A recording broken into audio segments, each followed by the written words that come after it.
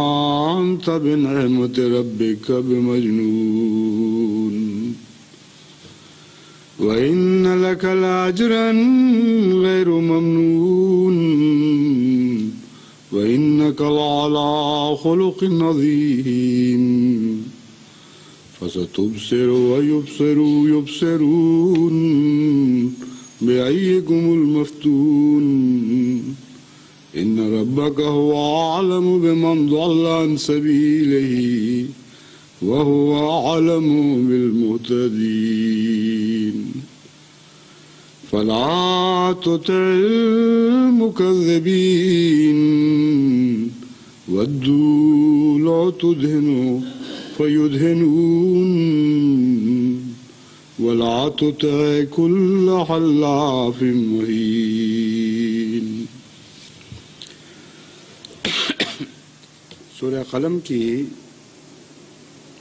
पहली ग्यारह आयत की मैंने तिलावत की है इस सूरत का आगाज लफ्ज नून से होता है नून के बहुत से मफाहिम हैं लेकिन उलमा अमूमन इस बात पर मुतफ़ हैं कि यहाँ अव्वल तौर पर नून से मुराद दवात है, यानी वो ज़र्फ़ जिसमें रोशनाई डाली जाती है। वलकलम वमा यस्तरून और वो कलम और वो तहरीर जो जिस जो दवात और कलम लिखते हैं या लिखने वाले लिखते हैं, इन सबको खुदा तला गवाह ठहरा रहा है। किस बात का गवाह? मानता बिनमत रब कब मजनून कि मोहम्मद वसल्लम तो खुदा तला की नेमत के नतीजे में हरगिज मजनून नहीं है। वन्ना लका लाजरन गैर गैर ममनून, और यकीनन तेरे लिए ना ख़त्म होने वाला एक अजर है। वन्ना का लाला खलुक नज़ीम, और यकीनन तू बहुत बड़े अखलाक पर कायम है। फसतुब से रो व युब से रून बस तू भी देखेगा और वो भी देखेंगे। बेआइए कुमुल मफतून, कि तुम में से कौन है जो मफतून है? कौन है जिसका दिमाग फिर गया है? इन रब्बा का हो आलम बेमन दल्लान सबील ही वह हो आलम बिलमतदीन यकीनन तेरा ही रब है जो बेहतर जानता है। कि कौन है जो रस्ते से गुमराह हो चुका है और कौन है जो हदायत पर है। फलात मुकज़बीन बस जुटलाने वालों की पैरवी मत कर। वद्दू लो तुदहिनो फयुदहिनून वो चाहते ये हैं कि तुम थोड़ा सा अपने मौक़ से सिरक जाओ तो फिर मुकाबिल पर वो भी कुछ नरमी इख्तियार करेंगे। वला तुते कुल्ला हल्लाफ महीन लेकिन हर झूठी कस्में खाने वाले, हद से ज़्यादा लव कस्में खाने वाले और महीन, जलील इंसान, कमीना सिफत इंसान की पैरवी ना कर।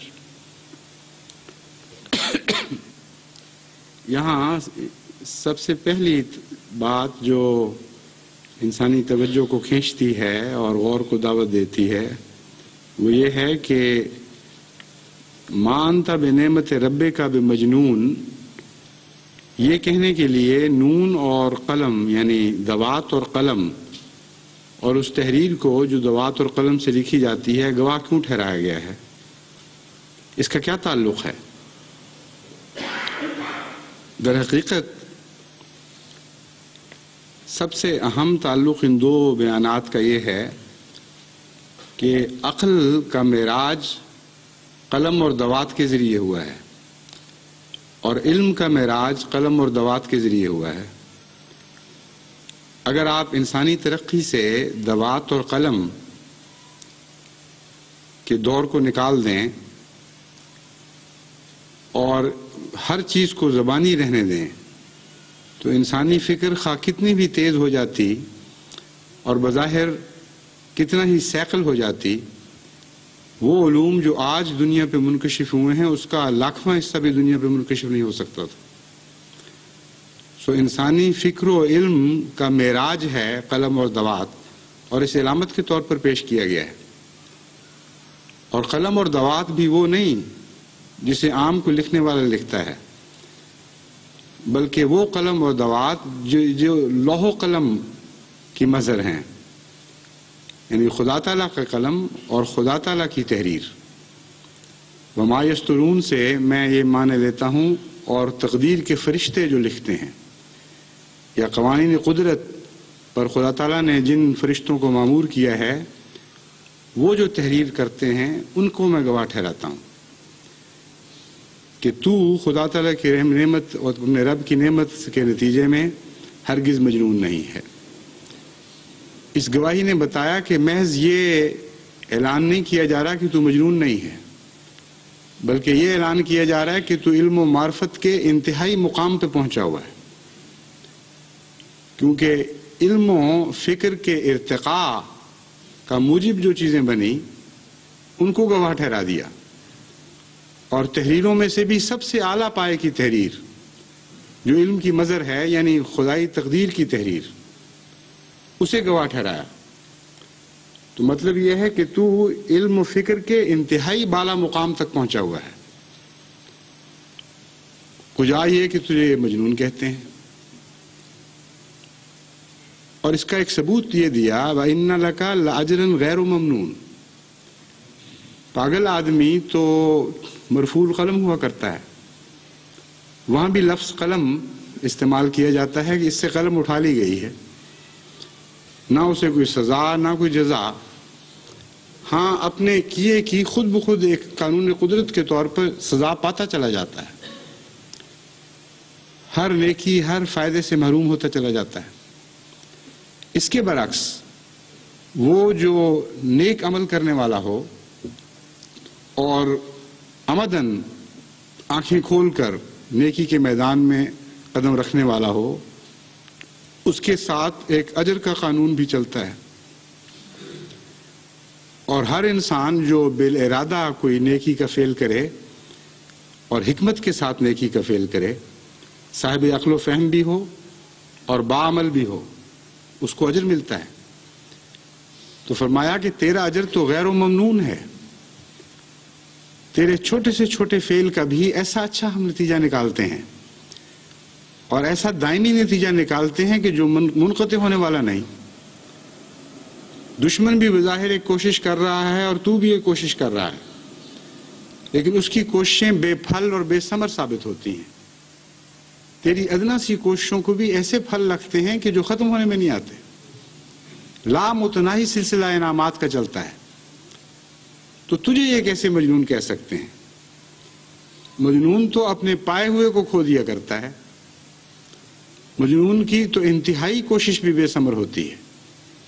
कुजा ये कि मामूली मामूली अदना अदना कोशिशें भी एक निगाह भी बासमर साबित हो जाए। तो फरमाया, तेरी ज़ात के साथ एक अमल, अजर गैर ममनून वाबस्ता हो चुका है, ना ख़त्म होने वाला अजर है। वह इन कल आला खुल्क नदीम और तेरे खुल्क बहुत, तेरा खुल्क बहुत अजीम है। उर्दू में तो ये तर्जमा किया गया कि तेरा खुल्क बहुत अजीम है, ये दुरुस्त नहीं। अरबी में आला खुल्क नज़ीम का मुतबादल उर्दू मुहावरा कोई नहीं। वरना लफ्जन ये तर्जमा करना चाहिए, तू अजीम खुल्क पर है। अजीम खुल्क पर होने का मफहम खुल्क के ऊपर गालिब आने के मफहम को ज़ाहिर करता है। यानी ये नहीं कि महज तेरे अखलाक अच्छे हैं बल्कि जिस तरह एक आला घुड़सवार घोड़े को काबू में रखता है, उसकी बागडोर उसके हाथ में होती है, उसके इशारे पर चलता है। इस तरह तू अखलाक का सवार करार दिया गया है। अखलाक तेरे, तेरी कुदरत से बाहर नहीं है। तू पूरी तरह उन पर फायज और कायम है। बस अला खलुकिन अजीम में बहुत ही बड़ा एक खराज तहसीन हज़रत मोहम्मद मुस्तफ़ा अलैहि वसल्लम के अखलाक को दिया गया है कि गोया जिससे हम कहते हैं, फलां बात तो तेरी लौंडी है। तो इस तरह फरमाया कि तू तो अखलाक का शाहसवार है। अजीम अखलाक पर खुदा तला ने तुझे मकदरत बख्शी है। इन तीन सिफात में से लाला खलुकिन अजीम वाली सिफत को हज़रत खदीजा रज़ी अल्लाह तहा भी पा गई और इससे उनकी बसीरत का पता चलता है। जब हज़रत अकदस मोहम्मद मुस्तफ़ा अलैहि वसल्लम को फ़िक्र लाक हुई अपने मुतलिक कि मुझसे क्या वाक़ हो गया है तो उस वक्त हज़रत खदीजा रज़ी अल्लाह तहा ने आपको ये कहकर तसली दिलाई थी कि आप में ये अजीम अखलाक पाए जाते हैं। और इतने अजीम अखलाक के मालिक को खुदा तला ज़ाया नहीं कर सकता। बस जो कुछ भी वाक़ हुआ है, उसका ये माना बहरहाल निकालना गलत है कि इससे आपको कोई नुकसान पहुँच सकेगा। आप महफूज मुकाम पर हैं, क्योंकि आप आला अखलाक पर फायज हैं। और जो लोग आला अखलाक पर फायज हों, खुदा तला उन्हें ज़ाया नहीं किया करता। बस हज़रत खदीजा रज़ी तहा को नून वल कलम में वमा यस्तरून को पहचानने की तो कोई मकदरत नहीं थी, क्योंकि ये तो खुदा तला जो राजदान था हज़रत मोहम्मद मुस्तफ़ा अलैहि वसल्लम की आला फ़िक्री और इल्मी तरक्की का, वही बता सकता था। आपको अभी तक ये भी मालूम नहीं था कि खुदा तला की कितनी अजीम शाम नेमत आपको मिलने वाली है, या मैसर आ चुकी है, और ना अजर गैर ममनून का सिलसिला भी आपने देखा था। लेकिन खुल्क अजीम एक ऐसी चीज़ है जो ज़ाहिर होती है, जिसे हर इंसान देख सकता है और हर साहिब बसीरत पहचान सकता है। बस आपने जो देखा, उसका नतीजा बिल्कुल सही अखज किया। जब ये सिफात पाई जाए किसी में, उसके बाद ये मुमकिन नहीं है कि खुदा ताला उसे ज़ाया कर दे। बस फरमाया फसतुब से रो वयुब से रून बेकुमुल मफतून ये बात बताती है कि वो ये सिफात जहाँ अक्ल कुल और इंतहाई आला फ़िक्र तदब्बर और जीनत अखलाक की मज़र हैं, इनके होते हुए जुनून का कोई सवाल ही नहीं पैदा होता। यानी जुनून के मुनाफी सिफात हैं ये सारी। जिस किसी को बादशाह कलम करार दे दिया जाए। किसी को तहरीर का तहरीर मार करार दे दिया जाए और अल्लाह ताला के गैर लाम महदूद एहसानात का मौरत करार दे दिया जाए और किसी शख्स को ये ज़मानत दे दी जाए कि तेरे हर फेल का बेहतरीन, लामतनाही अजर मिलता चला जाएगा। ये सारी बातें हज़रत सल्लल्लाहु के मुताबिक बयान फरमा दी गई। इसके बाद ये फरमाना कि फसतुब से व युब सरून बे दो बातों को ज़ाहिर कर रहा है। अव्वल ये कि ये सारी बातें जुनून की नफी करने वाली हैं। मजनून में ये सिफात इकट्ठी हो ही नहीं सकती, बल्कि इनमें से एक सिफत भी मजनून में नहीं होती। और साथ ही ऐलान किया गया कि तेरे मुखालफिन में इन सारी सिफात का अदम पाया जाता है। उसके बरक सिफात पाई जाती है। और जिसमें इन सिफात के बरक सिफात पाई जाएँ, वो लाजिमन मजनून हुआ करता है। जिनका हर अमल बेकार साबित हो, जिनकी हर कोशिश बेसमर हो जिनके वो अल्लाह ताला के एहसानात का तारुफ ही कुछ ना हो कि खुदा किस तरह आप कदम कदम पर अपने प्यारों पर फजल नाजिल फरमाया करता है। ये मज़ा ही ना चखा हो जिन लोगों ने। जिन लोगों को इल्म फहम से कोई वास्ता ना हो और बदखुल्क लोग हों, अखलाक हसन से हों, ये सब मजनून की लामत हुआ करती है। तो फरमाया कि तू मजनून नहीं है तेरे मुखालिफ सारे लाजिमन मजनून हैं। और ये बात हम खोलने वाले हैं। तू भी देखेगा और ये भी देखेंगे। और बिल आखिर रोज रोशन की तरह ये हकीकत दुनिया के सामने आ जाएगी कि मोहम्मद मुस्तफ़ा सल्लल्लाहु अलैहि वसल्लम हर उस सिफत से मुजयन थे जो जुनून की, के बरख सिफत कहलाती है। उसकी जिद है। और आपके मुखालिफिन हर वो सिफत रखते थे जिसके नतीजे में जुनून पैदा होता है या जो जुनून के नतीजे में पैदा होती है। इन रब्बा का हो आलम बिमन सबील ही वह हो आलम बिलमतदीन फिर फरमाया, तेरा रब ही है जो बेहतर जानता है कि राह हक से कौन हटा हुआ और गुमराह है और कौन है जो हदायत याफ्ता है। बस रब के बयान के मुताबिक ये वो सिफात हैं जो ज़ाहिर करेंगी कि कौन हदायत पर है और कौन हदायत से दूर है। ये मुराद नहीं कि ये सब कुछ बयान करने के बावजूद भी अभी तक तेरा मामला मशकूक है। इन सब सिफात के हामिल होने के बावजूद खुदा तला कहता है कि मैं ही बेहतर जानता हूँ कौन हदायत पर है। हरगिज ये मुराद नहीं है। मुराद ये है कि हम जो जानते हैं कि कौन हदायत पर है और कौन गुमराही पर है, हम बता रहे हैं। कि जो हदायत पर होते हैं, उनकी ये सिफात हुआ करते हैं। और जो गुमराह होते हैं, वो इन सिफात से आरी होते हैं।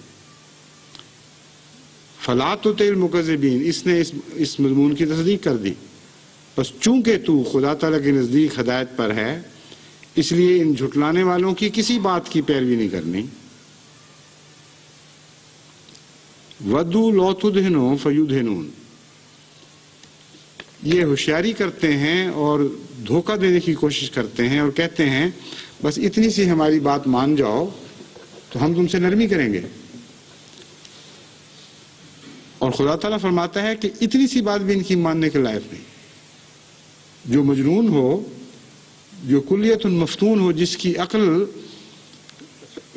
पर खब सवार हो चुका हो, उस शख्स की एक जर्रा सी, अदना सी बात भी मानने के लायक नहीं। वलात तुते कुल्ला हल्लाफ महीन।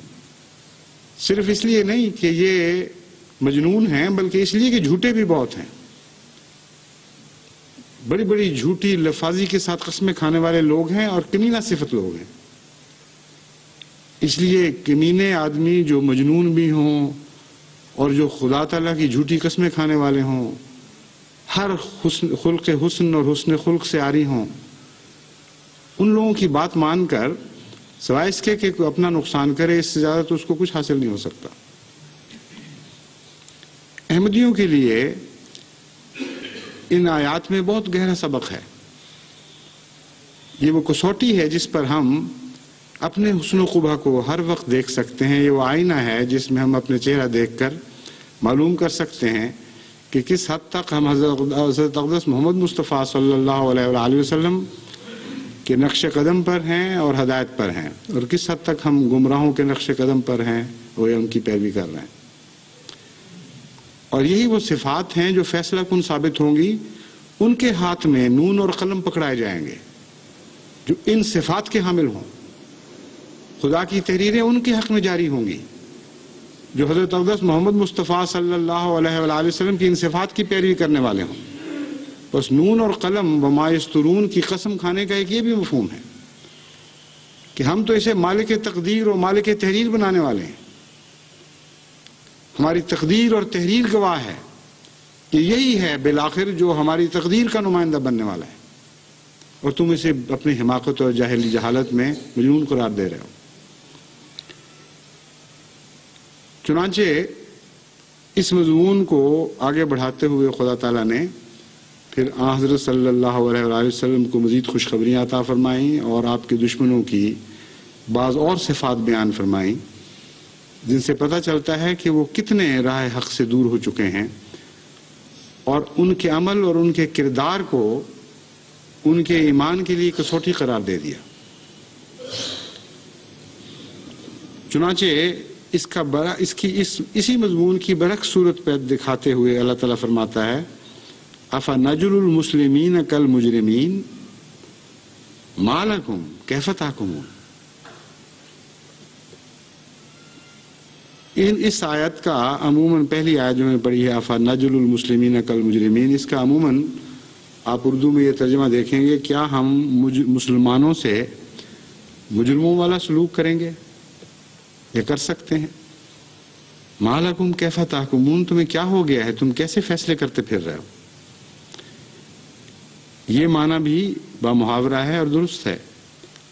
लेकिन पहला माना जो लफ्जन इस आयत का ज़ाहिर होता है वो और है। वो यह है, अफा नजरुल मुस्लिमीन कल मुजरमीन? भला हो सकता है कि हम मुसलमानों को मुजरमों की शक्ल में बनाएँ, या मुजरमों को मुसलमान करार दे दें। तुम क्या बातें कर रहे हो, कैसे फैसले कर रहे हो? मुजरिम तुम हो, तुम्हारे अमाल दाग दाग हैं। हर किस्म के गुनाहों में मुरतकब हो। और तुम मुसलमान बने बैठे हो और जो लोग मुजरिम नहीं है, उनको तुम गैर मुस्लिम करार दे रहे हो। इतना नहीं सोचते कि हो कैसे सकता है कि अल्लाह ताला मुसलमानों को मुजरिमों की शक्ल में बना रहा हो। और इस बात से तो दुनिया का कोई इंसान भी इनकार नहीं कर सकता कि बाज ऐसी सोसाइटियाँ जो अहमदियों को गैर मुस्लिम करार दे रही हैं, हर किस्म के जुर्मों में मुबतला हो चुकी सरबराहान ममलकत इकरार कर रहे हैं कि हर किस्म के गुनाह, हर किस्म की बदियाँ हमारी हमारी ज़िंदगी के हर शोबे में दाखिल हो गई। और हम बावजूद कुत रखने के, बावजूद इसके कि हमें खुदा ताला ने खुदा ताला तो लफ्ज़ तो बोलते नहीं इस मौके पर, कहते हैं बावजूद इसके कि हर किस्म की हुकूमत और ताकतें हमारे हाथ में थी और हमने उनको इस्तेमाल करना शुरू किया, फिर भी हम कौम के अखलाक बदलने में नाकाम हो चुके हैं। ये इकरार भी करते हैं कि ना सिर्फ़ नाकाम हो चुके हैं, बल्कि जिस हालत में हमने कौम के, कौम पर कब्जा किया था, सारी कोशिशों के बावजूद, अखलाक को बेहतर बनाने के लिए बजाय, हम आज कौम को बदतर हालत में देख रहे हैं। हर शोबे ज़िंदगी तबाह हो चुका है। ये इकरार हैं और फिर कहते हैं कि हम मुसलमान हैं। और वो लोग जिन, जिनके अखलाक बेहतर हैं, जिनको खुदा ताला ने शराफत, नजाबत बख्शी है, और अपने अमल में, अपने किरदार में, वो बाद ऐसी सिफात के हामिल हैं कि उनके दुश्मन भी ये कहने पर ज़रूर मजबूर हो जाते हैं कि हैं बाखलाक लोग। तो वही मजमून जो अखलाक का चला था, वो यहाँ फिर नुमाया हो गया। और इसको अकेला बयान फरमाया गया है मुकाबल पर। इसलिए कि जैसा कि मैंने बयान किया था, अखलाक तो दुनिया को नज़र आ जाते हैं। और वो जो बाकी सिफात बयान हुई थी हज़रत मोहम्मद मुस्तफ़ा सल्लल्लाहु अलैहि वसल्लम की, वो इतनी आला हैं कि आम दुनिया की नज़र में वो बाज़ दफ़ा गैर मरी हो जाती हैं।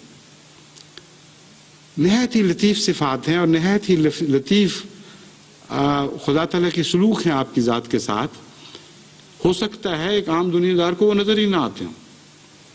बस मुमकिन है कि अहमदियों के साथ भी जब खुदा तला के वो सलूक हों, दुरुस्त है कि हमारे साथ उस सलूक को वही नस्बत होगी जैसे आका और गुलाम के साथ सलूक में फ़र्क होता है। लेकिन अच्छे आका के अच्छे गुलाम के साथ मिलता जुलता सलूक ज़रूर हुआ करता है। इसलिए मैं ये नहीं कहता कि हमसे वही सलूक खुदा का होता है जो हज़रत मोहम्मद मुस्तफ़ा सल्लल्लाहु अलैहि से हुआ। मगर एक अच्छे आका के ग़ुलाम और अच्छे ग़ुलाम के साथ जो सलूक होना चाहिए, वो तो हमसे ज़रूर होता है। इसलिए वो सिफात जो दीगर हैं, वो तो इन लोगों को नज़र नहीं आ सकती। लेकिन खुल्क अजीम ज़रूर नज़र आ जाता है। और खुल्क अजीम का फुकदान भी नज़र आने वाली चीज़ है, जिसको मुजरमीन के तौर पर पेश किया गया। हमारे तुम्हारी अकलें कहाँ गई? तुम्हारा मफतून होना तो इसी से साबित हो जाता है। कि वो जो खुल्क अजीम पर हामिल की पैरवी करने वाले हैं, उनको तो तुम मजनून और मफतून करार दे रहे हो और गुमराह करार दे रहे हो। और तुम जो सरासर जुर्मों में डूबे पड़े हो, तुम उसके उनके मुकाबले पर मुसलमान होने का दावा करते हो। कम से कम इतना ही ख्याल करो, इतनी हया करो कि खुदा के ताले की तरफ़ तुम क्या बात मंसूब कर रहे हो। इस शक्ल के मुसलमान बनाया करता है खुदा ताला? कि ऐसे मुसलमान बनाए जाते हैं? ये है ऐलान। अफा नजरुल मुस्लिमीन अकल मुजरमीन, क्यों नहीं तुम देखते ये बात? मालकुम कैफा ताहकुमून, पागल हो गए, हो क्या गया है तुम्हें? ये फैसले कर रहे हो आज? अम लकुम किताबुन फ़ी तदरुसून इन लकुम फ़ी है लमा तखयरून क्या तुम्हारे पास कोई ऐसी तहरीर है खुदा तला की, कोई ऐसी किताब है जिसमें यह लिखा गया हो कि इन लकुम फ़ी है लमा तखयरून। कि तुम्हें खुदा तला ने इस बात की रुख्सत दे दी है, इस बात का हक दे दिया है कि जो चाहो पसंद करते फिरो और जो चाहो तुम, जो तुम पसंद करो, वही खुदा तला की तकदीर बन जाए। ये तो नहीं हो सकता। तुम्हारी पसंद और खुदा ताला की पसंद में फ़र्क है। खुदा की पसंद चलेगी और तुम्हारी पसंद नहीं चलेगी। अमलकुम ऐमान अलैना बालगतुन यौमिल क़यामत। इन लकुम लमा ताकुमून क्या तुम तुम्हारे तुम्हारे पास कोई खुदा का अहद है? यानी खुदा पर तुमने, खुदा के, खुदा ने तुमसे कोई अहद बाँध रखा है? जो क्यामत तक अब चलता चला जाएगा। कि इन लकुम लमा थाकुम कि जो चाहो फैसले करते फिरो, खुदा तुम्हें इख्तियार दे बैठा है अब, कि हमेशा के लिए तुम ही फैसले किया करोगे। हरगिज नहीं। नून वल वल कलम व मायस्तरून ने बताया कि कलम और दवात और तहरीरें खुदा के कब्जे में है। और तुम्हें इख्तियार नहीं है कि तुम खुदा की तहरीरों को बदलो और खुदा तला के फैसलों को तब्दील करो। सल सलहुम अयुहम बेजाले का जईम अगर वो इसरार करें कि हाँ ऐसा ही होगा। हम जो चाहें करेंगे, जो चाहें लिखेंगे, और वही बात खुदा की बात हो जाएगी। तो कहो, फिर कौन है तुम में से जो इस बात का जामिन है? मतलब यह है कि हम इन चीज़ों को उल्टाने वाले हैं। हम हक और बातिल को मुमताज़ करके दिखाने वाले हैं। हम दिखाने वाले हैं कि दुनिया की नज़र में भी तुम पागल साबित होगे। तुम्हारी हरकतें मजनूनाना हरकतें साबित होंगी। और जिनको तुम मजनून और पागल समझ रहे हो, वही साहिब फहम करार दिए जाएँगे। बस जमात अहमदिया के लिए इससे ज़्यादा और क्या जमानत हो सकती है कि कुरान करीम में साहिब लोह कलम ने यह जमानत अता फरमा दी है कि तुम हज़रत मोहम्मद मुस्तफ़ा सल्लल्लाहु के अखलाक का दामन पकड़ लो और इस पर कायम हो जाओ और इस पर सब्र करके बैठ जाओ। फिर खुदा की, खुदा कसम खाता है लोह कलम की, कलम और दवात की और उन तहरीरों की जो तकदीर की तहरीरें होती हैं। कि लाजमन तुम गालिब आओगे और तुम में और तुम, तुम्हारे मुखालफों में फ़र्क करके दिखाया जाएगा। ये जमानत तो हमारे पास कुरान करीम की जमानत है। इसके मुकाबल पर अगर उनका दावा इससे मुख्तलिफ़ है तो अल्लाह ताला फरमाता है सलहम अयुहम बेजाल के जहीम अगर इसके मुखालिफ को दावा करते हो तो बताओ तुम्हारा कौन जामिन है? हमारा तो खुदा जामिन है। हमारी तो किताब इलाही जामिन है। बस आप खुल्क अजीम पर कायम हो। बाकी सब बातें ना नज़र आने वाली हैं। लेकिन एक इलामत आपकी ऐसी है, खुल्क अजीम पर कायम होना जिससे दुनिया देख सकती है। जिसे अहमदी देख सकता है। जिसे निज़ाम जमात देख सकता है।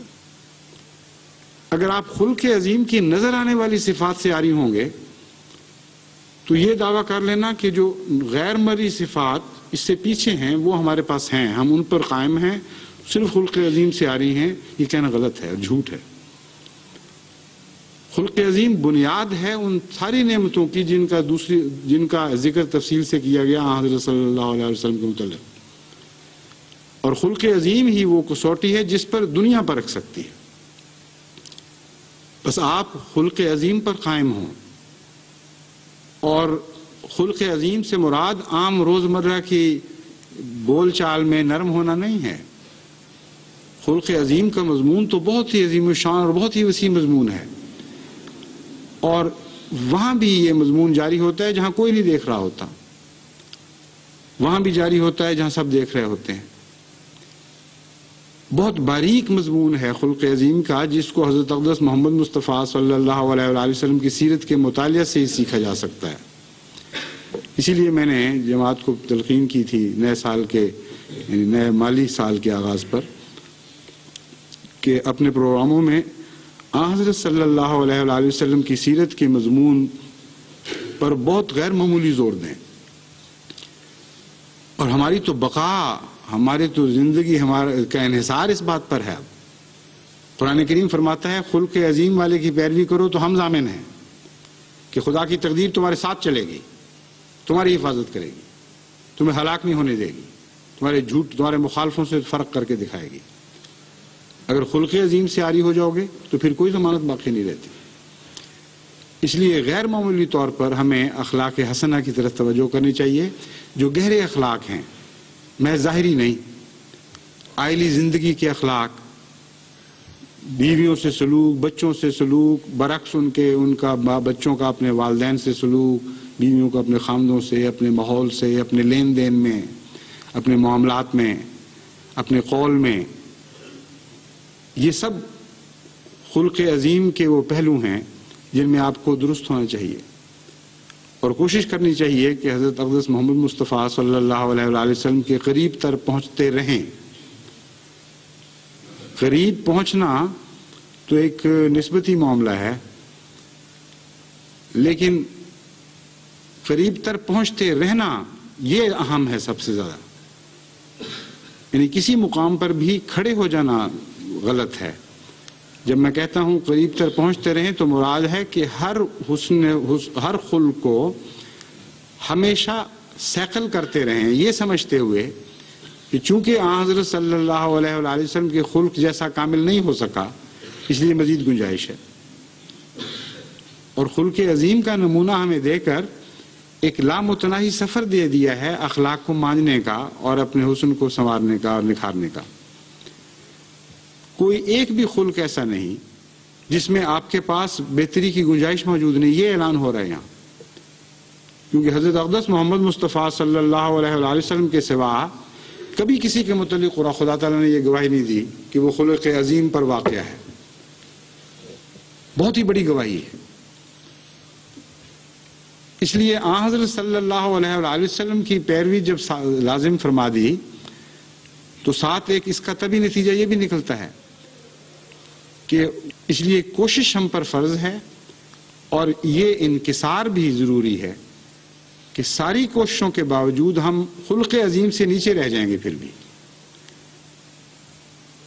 ये ज़रूर कर सकते हैं कि खुल्क अजीम की तरफ़ हमेशा बढ़ते रहें और हमेशा बढ़ते रहने का इम्कान खुल गया है हमारे लिए।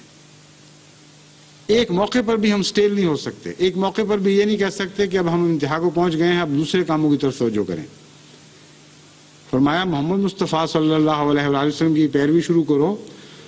सारी ज़िंदगी तुम इस काम में मसरूफ़ रहो, तब भी तुम्हारे लिए मज़ीद गुंजाइशें खुदा पैदा करता रहेगा।